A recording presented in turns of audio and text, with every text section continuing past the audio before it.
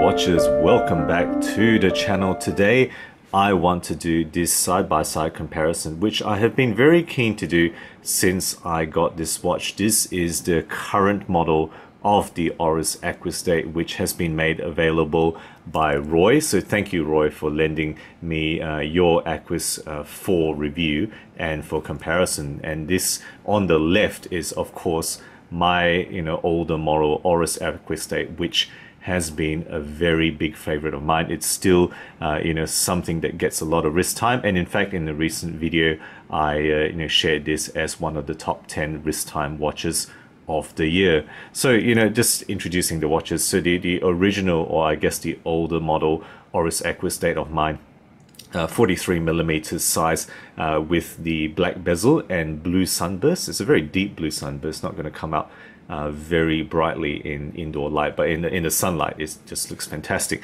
So this one, uh, one of the earliest reviews on the channel, I believe number seven video or something, you know, uh, you know a few years ago now that I reviewed uh, this, and it's still one of the top watches, one of my favorites, and it's going to be a keeper as it is, uh, you know, still in my hand here. Uh, this one, uh, of course, is the newer model. This is 43.5 millimeter, so you know there's a slight uh, up on the size there, uh, but otherwise you can see that the Aquis DNA is still very much in this watch. So updated in 2017. I reviewed this not too long uh, ago and you can go back and check the full review for all the details. So, you know, I, what I wanted to do here is to show the side by side uh, because, you know, uh, many people might be interested to know what is the difference, what did they change going from old to new uh, and you know I'll just go into the details to tell you and show you uh, what are the upgrades they made. So the movement is actually exactly the same movement. It's still the same Oris caliber based on the SW200-1 Sellita uh, but the entire outside of the watch has otherwise been revised. Uh, what do they have similar? So I'm just going to go through the similarities first. So the similarities are that you know, they, they both are 316L steel. They remain 316L steel. They both have screw down counts and case backs. And the case backs, I'll just show you the one on the right here is, you know, that porthole with that red rotor visible here with that display uh, window. Okay, the screw-in crowns, of course, uh, for the dive rating of 300 meters. 120 click unidirectional dive bezels. They both have ceramic inserts, very similar quality inserts. I have to say the one on the left, of course, is gloss, so whereas the one on the right uh, is more a matte finish. Uh, dome sapphire crystal, which is contiguous in terms of the curvature. You know, it kind of curves onto the bezel, which is something I really like about these watches. Uh, and they both have superluminova, and I'm pretty sure they are both BGW9 glowing bright blue in the dark. Okay, so that's the similarities. The MSRP originally, this one, as far as I gather, was 1850 USD, uh, whereas this one is more like 2,100 USD. So they increased slightly on that MSRP. Sale price, realistically, this was going for about 12 to 1300 USD on grey retail at least, uh, whereas this one is more around the 1400 USD mark on grey retail. Uh, of course, all product links that I can find will be down the bottom in the video description for you guys to check out if you so wish. Okay, so let's just talk about uh, the other differences then, the overall differences. We'll just talk about the, the different categories that you usually discuss here. So first of all, the case and the bezel. Uh, Case-wise, the new one, I'll just open the bracelets here. The new one, they managed to make it, as I mentioned, 0.5 millimeters wider, but uh, yet it's about 0.2 millimeters slimmer. So they, they really, uh, you know, hit a home run in the in terms of the case craft here, uh, making it slightly thinner. So I'll just show you side by side. You can't really perceive the size difference, 0.5 millimeters. Uh, probably it's also very difficult to perceive the thickness difference, but by calipers, I can assure you it's about 0.2 millimeters thinner on the case here. Uh, the bezel edge is more refined. Okay, let me just see if I can actually convey that. You can see that they've made it more of a point. Hopefully it comes through here. So very difficult to to really uh, show because you have to look quite closely. But there's a different bezel edge there, which is a little bit more of a point, uh, in a, rather than the flat surface on, on the one uh, on the left there. So it's a little bit more refined, I think. And the crown guards are definitely very different. Okay, let's just show you the crown guards there, right? So this one uh, on the right is more squared off, you know, more chunky, whereas this one, they've kind of rounded it and put more angles in there. So overall, uh, I would say that there's a, you know, slightly more aerodynamic or elegant look uh, if you will. So the, the definite difference there. And overall, I would say same great design. Okay, let's just hold the watches here. Right, same great design, you know, same type of proprietary lugs. The lugs uh, on the, the watch on the right is slightly more, I guess, you know, slimline. You know, they've changed the profile slightly, but it's you know, got very much the same DNA. Uh, same great kettle-shaped case where, uh, you know, the old model is more rounded. This one I guess kind of is a little bit more edgy here, right? That's that's a slight difference on the case, but you can see it's definitely upgraded everywhere. No part of the external has been left the same, you know, as far as, as I can tell. All right, in terms of which one uh, is better, uh, I, I, have to say the the case craft of the new one I think gets my tick here. You know, in terms of which one I would give uh, the victory to if it was just a case-to-case comparison, it's uh, I'm gonna say the one on the right, the new one, is just you know just just that much more refined, feels overall uh, somewhat classier. The bezels I, I, would say are identical in terms of the solidity and the clicks, you know, the the lack of play, uh, how how well it fits. I think the bezels are identical. All right, next uh, issue or category is dial and crystal. So I would say that the, the crystals, I'm not sure if actually they are completely the same. They're very, very similar. Uh, the bezels have a slightly different profile as I talked about it, but I like, uh, you know, again, how it kind of slopes down uh, onto the bezel in that single curve, that contiguous curve, which I really like. So I, am going to say the crystal is the same. You know, if I had to compare it, I, I wouldn't say one is better than the other. Now the dial, however, is different. So, you know, let you just see the differences in the wording right? The, the one on the right has Aquis on it. This one has Oris Automatic on the top.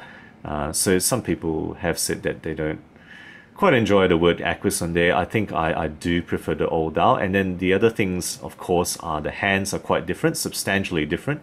Right, this one's more leaf style. This one is kind of the new Oris shape.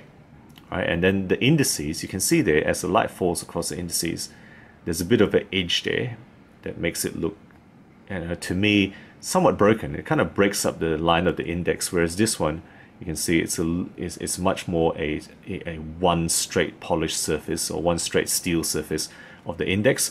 I actually like the old dial better, especially the indices and the handset. I don't mind the writing, but the indices and handset I definitely will give the mark. If it was a head-to-head, -head, I would give the preference to the old one. That's just my subjective preference, but let me know what you think.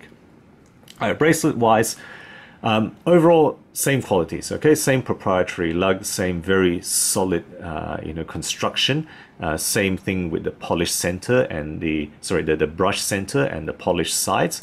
Uh, you know, screw links, of course. I'm not going to go too close, but the screw links, uh, this ones, of course, have a very solid dive extension there. All right, let's click it back with a solid deploying arm. Same with this one. All right, just going to take it apart there to show you guys right? Solid dive extension with very solid push button uh, deploy and class there. So I think in, in terms of overall mark, in terms of finish quality, it has to be the same thing. Uh, but I'll have I'll point out that the bezel on the new watch, the bracelet on the new watch, I should say, is uh, definitely you know thinner. Right, they, they've actually reduced the chunkiness. Right, the screw holes are thinner. The screws are actually thinner or more slim, so you need a smaller screwdriver to manipulate the new one. Uh, so it depends on your preference. You know, you know, if you want a more elegant lithe watch, definitely the new bezel is that, whereas the old one is just a more chunky, muscular one. Uh, it's actually slightly different in dimension as well. Right? This one widest point is 24. This one widest point is 25.5. So you can see, right, if you look at the polished bits on the the links there. Right, this one's definitely a more slim bezel. It kind of tapers sharper as well to something that's about two millimeters narrower at the thinnest point. Okay, so the differences between the bracelet, but but you know that that's kind of just subjective differences. I think in terms of overall quality and standing, uh, I think the bracelets are the same. Uh, it's just a different aesthetic. All right, more tool versus more elegant look. Okay, so next up, style. All right, style. I'm going to hold it further back here for you guys. Okay, style is, of course, uh, more subjective, right? Uh, what can you say about style? Um, you know, I think the new the new Aquis has managed to create overall a more smooth, a more elegant look, and you know, I, I think it's overall more versatile. It just fits a bit better in more formal situations, whereas this one is more of a full-blooded tool diver. You know, at least in my opinion, the aesthetic that the old Oris Aquis Date goes for. So in terms of overall styling, I think I'll give the mark to the new one. I mean, it's just, you know, look at the sides, right? It's very subtle, but overall there are just differences, you know, the crown guards, the lugs, uh, the bezel edge, you know, the case profile, uh, and especially the bracelet in terms of being less chunky. There's just all these subtle differences, and I think this one kind of edges ahead in just having more elegant, good looks. Uh, but of course, if you prefer a more tool watch look, you would of course choose uh, the one on the left. It's just got the more rugged type of look, if that's your preference. Okay, performance-wise, um, you know, I think I have to say this tied, right? 300 meter water resistance. They both have great lume right? Super Luminova lume shots down the bottom of the screen here, right? Perform all the way through the night. They are both the same quality and function. Solid bezels, I, I think the dive performance is the same on a head-to-head -head here. Next category, durability, right? I think materials-wise, they're all the same, right? Sapphire, ceramic insert bezel, uh, 316L stainless steel, but the old model, I think in durability, I have to say wins out on giving more of everything. It's a thicker case, thicker lugs, thicker bracelet, and overall more watch. You know, 175 grams adjusted weight versus 162 grams, and that that difference, right, 13 grams, you definitely feel it when you hold the watches. This one has a, you know just a chunkier feel to it, so I will give durability nod to the old watch. Value Okay, so this one, again, there's a slight differential factor here, right? The, the new one has gone up in MSRP by 250 USD. Is it giving you more? Well, I think you could argue it's not actually. In fact, the old one is probably giving you literally more watch, more material for less money uh, than the new one. Because, you know, what are you paying for the new one? Uh, it's the same movement, same materials, so you're really paying for the new design. That's what you're paying for. I guess inflation, you can expect prices go up, uh, but you know, you can still get the old one. So I would have to say value-wise, uh, that sits with the old watch rather than the new one, you know, in terms of which one gives you bang for buck.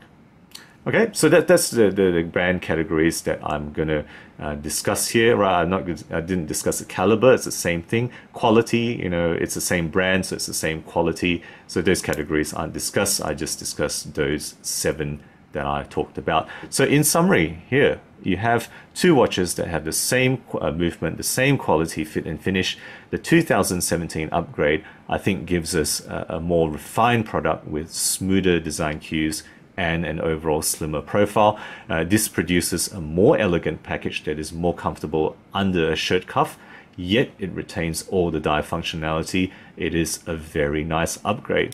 However, if you like a more full-blooded tool diver with a more angular design, right, there's no doubt about the fact that this is a, a more squared-off design, greater durability and sheer chunkiness, uh, you know, the, the old model is the better choice for those particular facets. Subjectively, I do like the old hands and indices more, and the old model also, I, I think, represents better objective value for the things, the reasons that I discuss. So guys, there we go. I hope you found that helpful, the comparison between new and old Oris Aquis Date models. Let me know your thoughts, particularly if you own either of these watches or if you're lucky enough to own both. Would love to hear your experiences and your feelings about you know how they went, what you think uh, Oris did good or bad in the upgrade from the old to the new. Guys, if you enjoy my videos, do consider subscribing.